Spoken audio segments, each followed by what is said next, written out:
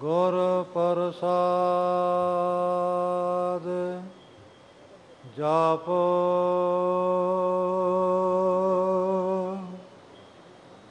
ਆਦ ਸਚ ਜੁਗਾਦੇ ਸਚ ਹੈ ਪੀ ਸਚ ਨਾਨਕ ਹੋਸੀ ਪੀ ਸਚ।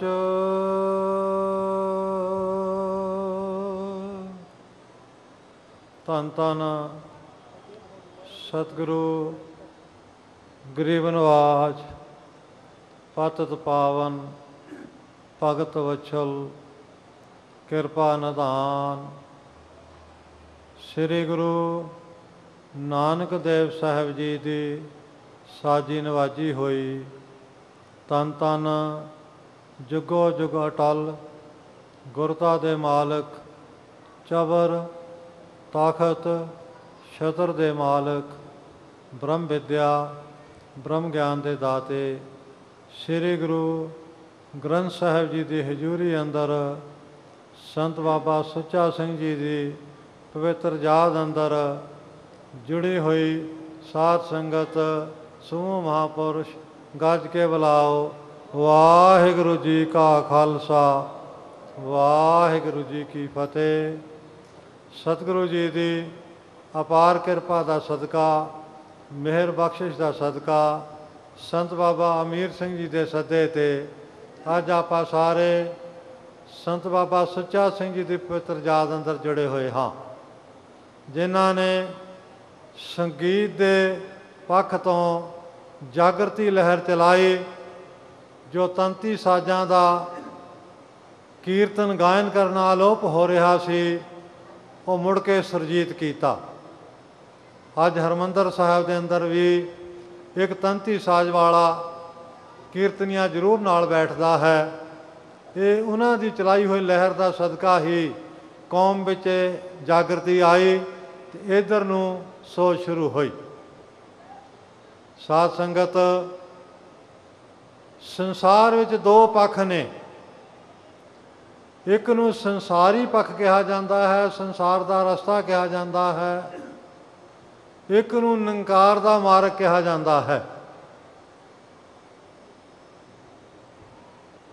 ਤਨ ਗੁਰੂ ਨਾਨਕ ਸਾਹਿਬ ਜੀ ਨੇ ਸਾਨੂੰ ਜ਼ਿਆਦਾ ਜ਼ੋਰ ਨਿਰੰਕਾਰ ਦੇ ਮਾਰਗ ਤੇ ਚੱਲਣ ਲਈ ਦਿੱਤਾ ਹੈ।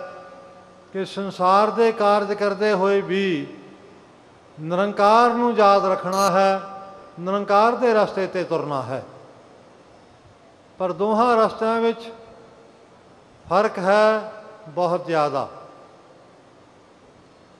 ਜੋ ਕੇਵਲ ਸੰਸਾਰ ਦੇ ਰਸਤੇ ਤੇ ਤੁਰਨ ਵਾਲੇ ਨੇ, ਉਹਨਾਂ ਵਿੱਚ ਮੈਂ ਦੀ ਬਹੁਤਾਤ ਹੁੰਦੀ ਹੈ। ਉਹ ਹਰ ਗੱਲ ਵਿੱਚ ਇਹ ਚਾਹੁੰਦੇ ਨੇ ਕਿ ਮੈਂ ਆ ਕਰਾਂ, ਮੈਂ ਆ ਹੋਵਾਂ, ਮੇਰੀ ਪਦਵੀ ਉੱਚੀ ਹੋ ਜਾਵੇ, ਮੇਰੇ ਕੋ ਮਾਇਆ ਬਹੁਤੀ ਹੋ ਜਾਵੇ, ਮੈਂ ਇਹ ਕੀਤਾ, ਮੈਂ ਉਹ ਕੀਤਾ, ਹਰ ਗੱਲ ਵਿੱਚ ਉਹਦੇ ਕੋਲ ਮੈਂ ਹੁੰਦੀ ਹੈ। ਤੇ ਇੱਛਾ ਹੁੰਦੀ ਹੈ ਕਿ ਮੇਰੇ ਕੋਲ ਮਾਇਆ ਵੀ ਇੰਨੀ ਹੋ ਜਾਵੇ, ਹੋਰ ਕਿਸੇ ਕੋ ਨਾ ਹੀ ਹੋਵੇ। ਮੇਰਾ ਮਕਾਨ, ਮੇਰੀ ਜਾਇਦਾਦ, ਉਹ ਬਹੁਤ ਹੋ ਜਾਵੇ। ਤੇ ਜੋ ਨਿਰੰਕਾਰ ਦੇ ਮਾਰਗ ਤੇ ਚੱਲਣ ਵਾਲਾ ਹੈ, ਉਥੇ ਮੈਂ ਤੋਂ ਰਹਿਤ ਹੋ ਕੇ ਚੱਲਿਆ ਜਾਂਦਾ ਹੈ। ਮੈਂ ਨਹੀਂ, ਪ੍ਰਭ, ਸਭ ਕੁਝ ਤੇਰਾ। ਉਥੇ ਪਰਮੇਸ਼ਰ ਦੇ ਗਿਣਨਾ ਪੈਂਦਾ ਹੈ। ਕਬੀਰ ਮੇਰਾ, ਮੁਝ ਮੈਂ ਕਿਛ ਨਹੀਂ। ਜੋ ਕੁਛ ਹੈ ਸੋ ਤੇਰਾ। ਇਹ ਤੇਰਾ ਹੀ ਹੈ ਮਾਲਕਾ। ਤੇਰਾ ਤੇਰਾ ਦੀ ਰੱਟ ਹੀ ਹੈ ਨਾ ਉਥੇ। ਉਹ ਤਾਂ ਕਹਿੰਦਾ, ਮੈਂ ਕੁਝ ਨਹੀਂ, ਮੈਂ ਕੁਝ ਨਹੀਂ। ਪਰ ਅਸੀਂ ਸੰਸਾਰ ਦੇ ਜੀਵ ਆਪ ਬਣਦੇ ਹਾਂ। ਇਸੇ ਲਈ ਕਿਹਾ ਗਿਆ ਜਬ ਹਮ ਹੋਤੇ, ਤਬ ਤੂੰ ਨਾਹੀ, ਅਬ ਤੂੰ ਹੀ ਮੈਂ ਨਾਹੀ। ਜੋ ਮੈਂ ਨਾਹੀ ਦੇ ਮਾਰਗ ਤੇ ਚੱਲਦਾ ਹੈ, ਉਹ ਤੂੰ ਹੀ ਨਾਲ ਮਿਲਬਲੀਨ ਹੋ ਜਾਂਦਾ ਹੈ। ਉਹ ਅਵਸਥਾ ਨੂੰ ਪਹੁੰਚਦਾ ਹੈ ਤੇ ਜਿਹੜਾ ਇਸ ਰਸਤੇ ਨਹੀਂ ਚੱਲਦਾ, ਉਹ ਅੱਧ ਵਿਚਾਲੇ ਰਹਿ ਜਾਂਦਾ ਹੈ। ਨਿਰੰਕਾਰ ਨੂੰ ਸਮਝਣਾ ਪੜ ਕੇ ਜਾਣ ਲੈਣਾ, ਇਹ ਵੱਖਰੀ ਗੱਲ ਹੈ। ਉਹਨੂੰ ਪਾ ਲੈਣਾ, ਇਹ ਇੱਕ ਵੱਖਰੀ ਗੱਲ ਹੈ। ਬ੍ਰਹਮ ਸਰੋਤਰੀ ਹੋਣਾ, ਵਿਦਵਾਨ ਹੋ ਜਾਣਾ ਪੜ ਲੈਣਾ। ਇਹ ਵੱਖਰੀ ਗੱਲ ਹੈ। ਤੇ ਬ੍ਰਹਮ ਸਰੋਤਰੀ ਤੇ ਬ੍ਰਹਮ ਨਿਸ਼ਟੀ ਵੀ ਹੋ ਜਾਣਾ, ਇਹ ਉਸ ਤੋਂ ਵੱਖਰੀ ਗੱਲ ਹੈ। ਪਾਉਣਾ। ਪਾਇਆ ਕਦੋਂ ਜਾਂਦਾ ਹੈ? ਜਦੋਂ ਆ, ਜਦ ਆਪਾ ਪਰਕਾ ਮਿਟ ਗਿਆ, ਜਦ ਦੇਖੋ ਤਤ ਤੂੰ। ਤੇ ਮਿਟਦਾ ਕਿਵੇਂ ਹੈ? ਤੂੰ ਤੂੰ ਕਰਤਾ, ਤੂੰ ਹੁਆ। ਮੁਝ ਮੈਂ ਰਹਾ ਨਾ ਹੂੰ। ਜਦੋਂ ਦਾ ਜਾਪ ਕਰੇਗਾ, ਸਿਮਰਨ ਕਰੇਗਾ। ਜਿੱਥੇ ਸਿਮਰਨ ਹੁੰਦਾ ਹੈ, ਜਿੱਥੇ ਨਾਮ ਜਪਿਆ ਜਾਂਦਾ ਹੈ, ਉਥੋਂ ਦਾ ਵਾਤਾਵਰਣ ਵੀ ਸ਼ੁੱਧ ਹੋ ਜਾਂਦਾ ਹੈ। ਅੱਜ ਵਾਤਾਵਰਣ ਦੀ ਵੀ ਗੱਲ ਚੱਲਦੀ ਹੈ ਨਾ, ਮਲੀਨਤਾ ਦੀ ਗੱਲ ਚੱਲਦੀ ਹੈ ਨਾ, ਪ੍ਰਦੂਸ਼ਣ ਦੀ ਗੱਲ ਚੱਲਦੀ ਹੈ ਨਾ, ਅਸਲ ਵਿੱਚ ਪ੍ਰਦੂਸ਼ਣ ਤਾਂ ਇਸ ਤਰੀਕੇ ਨਾਲ ਜ਼ਿਆਦਾ ਫੈਲ ਗਿਆ ਜੋ ਸੰਸਾਰ ਤੇ ਵਕਾਰ ਦੀਆਂ ਹੀ ਗੱਲਾਂ ਜ਼ਿਆਦਾ। ਆ ਟੀਵੀ ਨਾਲ, ਮੀਡੀਆ ਨਾਲ, ਹੋਰ ਪਾਸੇ, ਚਾਰ ਚਫੇਰੇ, ਗੰਦਗੀ ਗੰਦਗੀ। ਜੋ ਵਾਤਾਵਰਣ ਦੀ ਸ਼ੁੱਧਤਾ ਵਾਲੀ ਗੱਲ ਹੈ, ਨਾਮ ਵਾਲੀ, ਉਹਦੀ ਕਮੀ। ਸਾਧ ਸੰਗਤ, ਅੰਮ੍ਰਿਤਸਰ ਸਾਹਿਬ ਸਰੋਵਰ, ਹੈ ਤਾਂ ਜਲ, ਜਿੰਨਾ ਚਿਰ ਉਹ ਪਾਣੀ ਨਹਿਰ ਵਿੱਚ ਹੈ ਉਹਨਾਂ ਚਿਰ ਪਾਣੀ ਹੈ।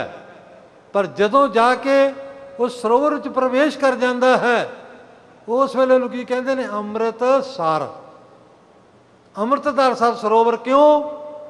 ਉਸ ਪਾਣੀ ਦੀ ਹਰ ਵੇਲੇ ਨੇੜਤਾ ਕਿਸ ਚੀਜ਼ ਨਾਲ ਹੈ? ਬਾਣੀ ਨਾਲ, ਨਾਮ ਨਾਲ। ਉਥੇ ਹਰ ਵੇਲੇ ਨਾਮ ਦਾ ਪ੍ਰਵਾਹ ਬਾਣੀ ਦੀ ਆਵਾਜ਼ ਉਹਦੇ ਵਿੱਚ ਸਮਾਉਂਦੀ ਹੈ। ਤੇ ਜਿਨ੍ਹਾਂ ਹਿਰਦਿਆਂ ਵਿੱਚ ਨਾਮ ਸਮਾ ਜਾਵੇ, ਬਾਣੀ ਸਮਾ ਜਾਵੇ, ਉਹ ਸਰੀਰ ਜਿਨ੍ਹਾਂ ਦੇ ਅੰਦਰ ਇਸ ਦੀ ਬਹੌਲਤਾ ਹੋ ਜਾਵੇ, ਉਹ ਜਿੱਥੇ ਚਲੇ ਜਾਂਦੇ ਨੇ, ਉਹ ਧਰਤੀ ਵੀ ਪਵਿੱਤਰ ਹੋ ਜਾਂਦੀ ਹੈ। ਉਹ ਹਵਾ ਵੀ ਪਵਿੱਤਰ ਹੋ ਜਾਂਦੀ ਹੈ। ਉਹਨਾਂ ਦੇ ਬੋਲ ਵੀ ਅੰਮ੍ਰਿਤਮਈ ਹੋ ਜਾਂਦੇ ਨੇ। ਪਰ ਹੁੰਦੇ ਕਿਹਦੇ ਨੇ, ਜਿਨ੍ਹਾਂ ਦੀ ਸੁਰਤ, ਜਿਨ੍ਹਾਂ ਦਾ ਹਿਰਦਾ ਨਾਮ ਦੇ ਨੇੜੇ ਹੋ ਜਾਵੇ। ਜਿਹਦਾ ਨਹੀਂ ਹੁੰਦਾ, ਵਾਹਿਗੁਰੂ ਵਾਹਿਗੁਰੂ ਵਾਹਿਗੁਰੂ ਵਾਹਿਗੁਰੂ ਕਰੀ ਜਾਂਦਾ ਹੈ।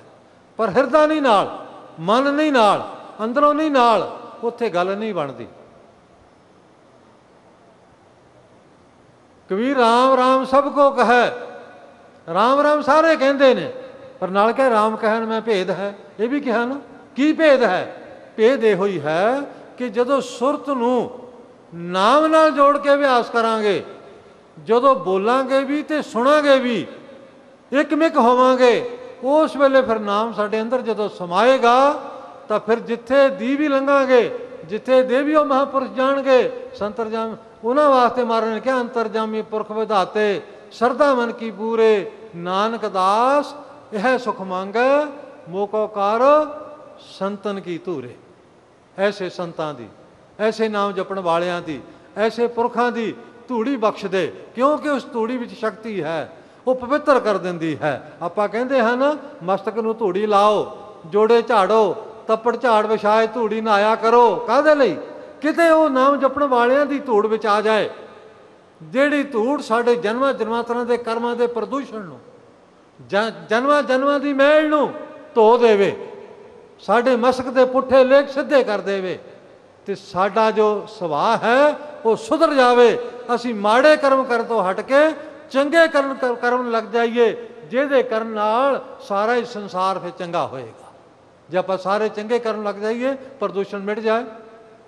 ਸਭ ਤੋਂ ਵੱਡਾ ਸੋ ਇਸ ਵਾਸਤੇ ਲੋੜ ਹੈ ਕਿ ਆਪਾਂ ਸਤਿਗੁਰੂ ਜੀ ਦੱਸੇ ਹੋਏ ਮਾਰਗ ਨੂੰ ਗਾਵੀਆ ਸੁਣੀਏ, ਮਨ ਰੱਖਿਆ ਭਾਵ ਨੂੰ ਅਪਣਾ ਕੇ ਚੱਲੀਏ। ਤੇ ਸਤਿਗੁਰੂ ਜੀ ਦੀ ਕਿਰਪਾ ਹੋਵੇ, ਜਦੋਂ ਆਪਾ ਸੁਧਰ ਗਿਆ, ਆਪੇ ਤੋਂ ਤੁਰ ਪਈਏ ਤਾਂ ਸਾਰਾ ਸੰਸਾਰ ਸੁਧਰ ਜਾਂਦਾ ਹੈ। ਇਹ ਪ੍ਰਦੂਸ਼ਣ ਵੀ ਦੂਰ ਕਰਨ ਦੀ ਲੋੜ ਹੈ, ਤੇ ਜਿਹੜਾ ਦੂਜਾ ਪ੍ਰਦੂਸ਼ਣ ਹੈ, ਇੱਕ ਮਨ ਵਿੱਚ ਗੱਲ ਹੈ, ਮਹਾਪੁਰਸ਼ਾਂ ਕੇ ਰੱਖਣੀ ਹੈ। ਪਾਣੀ ਦੇ ਪ੍ਰਦੂਸ਼ਣ ਦੀ ਵੀ ਗੱਲ ਚੱਲ ਪਈ ਦਰਖਤਾਂ ਦੀ ਗੱਲ ਵੀ ਚੱਲ ਪਈ ਇਹਦੇ ਚੱਲਣ ਵਿੱਚ ਇੱਕ ਗੱਲ ਆਈ ਕਿ ਫੈਕਟਰੀਆਂ ਦਾ ਪਾਣੀ ਉਹ ਦਰਿਆਵਾਂ ਵਿੱਚ ਰਲ ਰਲ ਰਿਹਾ ਹੈ ਤੇ ਸੀਵਰੇਜ ਦਾ ਪਾਣੀ ਉਹ ਦਰਿਆਵਾਂ ਵਿੱਚ ਰਲ ਰਿਹਾ ਹੈ ਤੇ ਪਾਣੀ ਗੰਦਾ ਹੋ ਰਿਹਾ ਹੈ। ਤੇ ਉਹਦੇ ਨਾਲੋਂ ਖਤਰਨਾਕ ਗੱਲ ਜਿਹੜੀ ਹੁਣ ਸ਼ੁਰੂ ਹੋਈ ਹੈ ਨਾ, ਉਹਦੇ ਸੋਚਣ ਦੀ ਲੋੜ ਹੈ। ਜਦੋਂ ਰੁਕਾਵਟ ਸ਼ੁਰੂ ਹੋਈ ਸਰਕਾਰ ਵੱਲੋਂ ਵੀ, ਸਾਰੇ ਪਾਸੇ ਰੌਲਾ ਪੈਣ ਲੱਗ ਪਿਆ। ਕਿ ਇਹ ਪਾਣੀ ਦਰਿਆਵਾਂ 'ਚ ਨਹੀਂ ਜਾਣਾ ਚਾਹੀਦਾ, ਨਵਾਂ ਤਰੀਕਾ ਕੱਢ ਲਿਆ ਗਿਆ। ਬੋਰ ਕਰਦੇ ਨੇ ਤੇ ਉਹ ਪਾਣੀ ਸਾਰਾ ਥੱਲੇ ਛੱਡੀ ਛੱਡੀ ਜਾਂਦੇ ਨੇ। ਉਹ ਪਾਣੀ ਥੱਲੇ ਜਾ ਰਿਹਾ ਹੈ। ਸਾਡੇ ਇੱਥੇ ਮੀਟਿੰਗ ਹੋਈ ਡੀਸੀ ਦੇ, ਮੈਂ ਉੱਥੇ ਗੱਲ ਕੀਤੀ, ਉਹ ਗੱਲ ਸੁਣਨੇ ਨੂੰ ਤਿਆਰ ਨਹੀਂ। ਉਹ ਮੇਰੇ ਇੱਕ ਨੋਟਿਸ 'ਚ ਹੈ ਨਹੀਂ ਸੀ, ਗੱਲ ਮੈਂ ਗੱਲ ਇਹ ਕੀਤੀ ਜਦੋਂ। ਉਹ ਮੈਨੂੰ ਮਗਰੋਂ ਆ ਕੇ ਪਤਾ ਲੱਗਿਆ ਕਿ ਸਾਡੇ ਨੇੜੇ ਸੈਲੇ ਦੀ ਮਿਲ ਹੈ। ਉਹਨਾਂ ਨੇ ਇਹ ਕੰਮ ਸਿਸਟਮ ਅਪਣਾ ਲਿਆ। ਇਦਾਂ ਪਤਾ ਹੋਰ ਕਿਹਨਾਂ ਨੇ ਅਪਣਾਇਆ ਹੋਵੇਗਾ? ਉਹਦਾ ਅਸਰ ਕੀ ਹੈ? ਅੱਗੇ ਤਾਂ ਉੱਪਰਲਾ ਪਾਣੀ ਪ੍ਰਦੂਸ਼ਿਤ ਹੋਇਆ 60 70 ਫੁੱਟ ਤੱਕ ਦਾ। ਤੇ ਅਸੀਂ ਬੋਰ ਡੂੰਘੇ ਲਾ ਲਏ। ਹੁਣ ਉਹ 200 ਫੁੱਟ ਦੇ ਥੱਲੇ ਛੱਡਣ ਲੱਗ ਪਏ। ਉਹ ਜਿਹੜਾ ਥੱਲੇ ਦਾ ਪਾਣੀ ਲੈਂਦੇ ਆ, ਉਹ ਵੀ ਪ੍ਰਦੂਸ਼ਿਤ ਹੋ ਜਾਣਾ ਜਿਸ ਰਾਕੇ ਛੱਡਣ ਲੱਗੇ ਹੋਣਾ ਸ਼ੁਰੂ ਹੋ ਗਿਆ। ਮੇਰੀ ਬੇਨਤੀ ਹੈ, ਮਹਾਪੁਰਸ਼ਾਂ ਦੇ ਸੰਤ ਬਾਬਾ ਅਰਨਾਮ ਸਿੰਘ ਜੀ, ਮੁਖੀ ਦਮਨੀ ਟਕਸਾਲ ਵੀ ਨੇ ਗੁਰਮੁਖ ਸਿਧਾਂਤ ਪ੍ਰਚਾਰਕ ਸੰਤ ਸਮਾਜ ਦੇ ਮੁਖੀ ਵੀ ਨੇ ਤੇ ਸਾਰੇ ਮਹਾਪੁਰਸ਼ ਬੈਠੇ ਨੇ। ਇੱਕ ਮਤਾ ਪਾ ਕੇ ਪੰਜਾਬ ਸਰਕਾਰ ਨੂੰ, ਸੈਂਟਰ ਸਰਕਾਰ ਨੂੰ ਇਹ ਮਹਾਪੁਰਸ਼ਾਂ ਵੱਲੋਂ ਭੇਜਿਆ ਜਾਵੇ ਕਿ ਬਾਕੀ ਵਾਤਾਵਰਣ ਲਈ ਤਾਂ ਅਸੀਂ ਸਾਵਧਾਨ ਹੋਏ ਹਾਂ। ਆ ਜਿਹੜਾ ਨਵਾਂ ਕੰਮ ਸ਼ੁਰੂ ਹੋਇਆ, ਇਹਦੇ ਲਈ ਰੋਕ ਲਈ ਕਰੋ, ਕਿੱਦਾਂ ਹੋਏਗੀ? ਬਾਹਰਲੇ ਦੇਸ਼ਾਂ ਵਾਲਿਆਂ ਨੇ ਪਾਣੀ ਦੇ ਟ੍ਰੀਟਮੈਂਟ ਪਲਾਂਟ ਲਾਏ ਨੇ। ਹਰੇਕ ਫੈਕਟਰੀ ਦਾ ਪਾਣੀ ਉਹ ਸਾਫ਼ ਹੁੰਦਾ ਹੈ। ਸਾਫ਼ ਹੋ ਕੇ ਫਿਰ ਬਾਹਰ ਛੱਡਿਆ ਜਾਂਦਾ ਹੈ। ਇਦਾਂ ਹੀ ਸੀਵਰੇਜ ਦੇ ਪਾਣੀ ਸਾਫ਼ ਹੁੰਦੇ ਨੇ। ਉਹ ਪਲਾਂਟ ਲਾਏ ਜਾਣ, ਉਹ ਗੰਦਗੀ ਨੂੰ ਸਾਫ਼ ਕਰਕੇ ਫਿਰ ਪਾਣੀ ਸਾਫ਼ ਅੱਗੇ ਛੱਡਿਆ ਜਾਵੇ, ਨਾ ਕਿ ਉਹ ਮਲੀਨ ਪਾਣੀ ਨੂੰ ਬਾਹਰ ਦੀ ਵਜ੍ਹਾ ਥੱਲੇ ਛੱਡ ਦਈਏ। ਇਹ ਤਾਂ ਬਿਲਕੁਲ ਹੀ ਖਰਾਬ ਹੋ ਜਾਏਗਾ ਕੰਮ। ਸੋ ਇਸ ਪਾਸੇ ਨੂੰ ਆਪਾਂ ਧਿਆਨ ਦਈਏ। ਸੱਚੇ ਪਾਤਸ਼ਾਹ ਕਿਰਪਾ ਕਰਨ, ਮਿਹਰ ਕਰਨ, ਮੇਰੀ ਬੇਨਤੀ ਉਮੀਦ ਆ ਪ੍ਰਵਾਨ ਕਰਨਗੇ। ਸਾਰ ਮਹਾਪੁਰਸ਼ ਸੰਤ ਬਾਬਾ ਹਰਨਾਮ ਸਿੰਘ ਜੀ ਕਹਿੰਦੇ ਨੇ ਕਿ ਇਹ ਮਤਾ ਪਾ ਕੇ ਭੇਜਾਂਗੇ।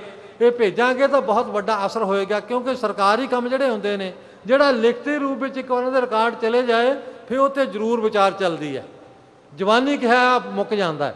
ਤੇ ਸੱਚੇ ਪਾਤਸ਼ਾਹ ਕਿਰਪਾ ਕਰਨ, ਮਿਹਰ ਕਰਨ, ਇਸ ਸੰਸਾਰ ਦੇ ਉੱਤੇ ਮਹਾਂਪੁਰਖ ਆਉਂਦੇ ਰਹਿਣ, ਬੰਦਗੀ ਕਰਨ, ਸਿਮਰਨ ਕਰਨ ਪਰਵਕਾਰ ਦੇ ਕਾਰਜ ਕਰਨ। ਤੇ ਸੱਚੇ ਪਾਤਸ਼ਾਹ ਜੀ ਦੀ ਕਿਰਪਾ ਹੋਵੇ ਜਿੰਨਾ ਕੰਮ ਮਹਾਪੁਰਸ਼ ਕਰ ਸਕਦੇ ਨੇ, ਸਰਕਾਰਾਂ ਨਹੀਂ ਕਰ ਸਕਦੀਆਂ। ਜੋ ਸਰਕਾਰਾਂ ਕਰ ਸਕਦੇ ਉਹਨਾਂ ਦੀ ਪਾਵਰ ਹੈ। ਪਰ ਜੇ ਕਿਤੇ ਸਰਕਾਰਾਂ ਮਹਾਪੁਰਸ਼ਾਂ ਦਾ ਸਹਿਯੋਗ ਲੈਣ ਲੱਗ ਜਾਣ ਤੇ ਫੇਰ ਕੰਮ ਆਰੰਭ ਕਰਨ, ਤਾਂ ਦੁੱਗਣਾ ਕਾਰਜ ਹੋ ਸਕਦਾ ਹੈ। ਸੋ ਸੱਚੇ ਪਾਤਸ਼ਾਹ ਮਿਹਰ ਕਰਨ, ਇਹ ਪ੍ਰਦੂਸ਼ਣ ਨੂੰ ਦੂਰ ਕਰਨ ਲਈ ਅਸੀਂ ਸਾਰੇ ਉਪਰਾਲੇ ਕਰੀਏ। ਸਤਿਗੁਰੂ ਦੀ ਕਿਰਪਾ ਹੋਏ ਤੇ ਅਖੀਰ ਤੇ ਮੈਂ ਬੇਨਤੀ ਕਰਾਂਗਾ ਕਿ ਸਭ ਤੋਂ ਵੱਡੀ ਗੱਲ ਹੈ ਨਾਮ ਜਪਣ ਦੀ। ਪਹਿਲਾਂ ਆਪਾਂ ਨਾਮ ਜਪ ਕੇ ਆਪਣਾ ਅੰਦਰਲਾ ਪ੍ਰਦੂਸ਼ਣ ਦੂਰ ਕਰੀਏ। ਪ੍ਰਦੂਸ਼ਣ ਦੀ ਫੈਕਟਰੀ ਤਾਂ ਆਪਾਂ ਬੰਦੇ ਹੀ ਆ ਨਾ। ਪ੍ਰਦੂਸ਼ਣ ਤਾਂ ਆਪਣੇ ਬੰਦਿਆਂ ਤੋਂ ਹੀ ਸ਼ੁਰੂ ਹੁੰਦਾ ਹੈ। ਉਹ ਤੋਂ ਉਹੀ ਫੈਲਦਾ ਜਾਂਦਾ, ਸਾਰੇ ਪਾਸੇ ਗੰਦਗੀ ਦਾ ਵੀ, ਦੂਜਾ ਵੀ, ਤੇ ਇੱਥੋਂ ਆਪਾਂ ਸੋਧਦੇ ਤੁਰੀਏ ਤੇ ਸੱਚੇ ਪਾਤਸ਼ਾਹ ਦੀ ਕਿਰਪਾ ਹੋਏਗੀ। ਸੇਨੀਆਂ ਬੇਨਤੀਆਂ ਕਰਦਾ ਹੋਇਆ, ਸੰਤ ਅਮੀਰ ਸਿੰਘ ਜੀ ਦਾ ਧੰਨਵਾਦੀ ਹਾਂ, ਜਿਨ੍ਹਾਂ ਦਰਸ਼ਨ ਨਜ਼ਾਰ ਕਰਾਏ ਨੇ, ਤੇ ਮਹਾਂਪੁਰਸ਼ ਸੰਤ ਸੁੱਚਾ ਸਿੰਘ ਜੀ ਦੇ ਬੜਾ ਹੀ ਪਰਵਕਾਰ ਕੀਤਾ, ਜੋ ਕੀਰਤਨ ਦੀ ਲਹਿਰ ਚਲਾਈ, ਉਹ ਹੁਣ ਅੱਗੇ ਪ੍ਰਫੁੱਲਤ ਹੋ ਰਹੀ ਹੈ। ਸੱਚੇ ਪਾਤਸ਼ਾਹ ਨੂੰ ਤੇ ਵੀ ਕਿਰਪਾ ਕਰਨ। ਇੰਨੀਆਂ ਬੇਨਤੀਆਂ ਕਰਦਾ ਆਖਿਆ ਮਾਤਾ, ਜਾਚ ਕਹਾ ਵਾਹਿਗੁਰੂ ਜੀ ਕਾ ਖਾਲਸਾ ਵਾਹਿਗੁਰੂ ਜੀ